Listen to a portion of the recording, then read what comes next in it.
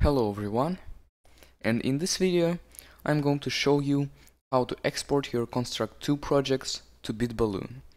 BitBalloon.com is a very easy to use hosting service for HTML5 games so you can export your Construct 2 games to it.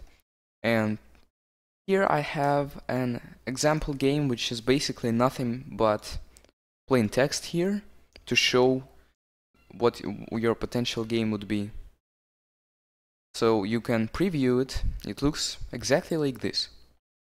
Uh, what you need to do to export it to BitBalloon is click on File and Export Project. Here choose HTML5 website. Uh, and after it exports, you are going to have a folder with all the source files for your game. And once you open that folder, you need to select all your files and put them in a zip folder. Uh, you can call it whatever, it doesn't really matter. And here in BitBalloon, once you register, you should have something like this with a list of your sites. And to add a new site here, drag and drop that folder. And it will upload the uh, length of the uploads depends on the size of the project. So obviously this project is very small and it doesn't take long to upload. Here uh, after it's uploaded you have the site. So you can open it and it's just it's going to show the exact same thing as in the preview. Um, this uh, domain name you can change the subdomain by clicking edit name and here you can put whatever you want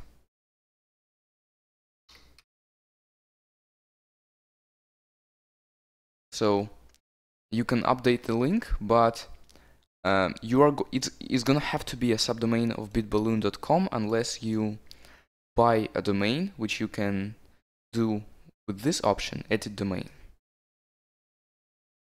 And finally you can make your project private by putting in a password and uh, for the password um, uh, then you basically then your game is not going to be available publicly, but only for people who have the password.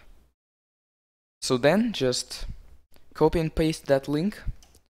Uh, for this project it's bitballoontutorial.bitballoon.com but for other projects it's whatever name you put in there, uh, provided of course that it's available and just share it around, send it to your friends and once again, this is very easy to use, so that's why I recommend it for small Construct 2 projects. And not only Construct 2, but you can uh, you can do that with pretty much any HTML5 games, but uh, in this case, I showed you how to export a game from Construct 2 and upload it in less than 5 minutes. Uh, and now it's available for you to share. Thank you.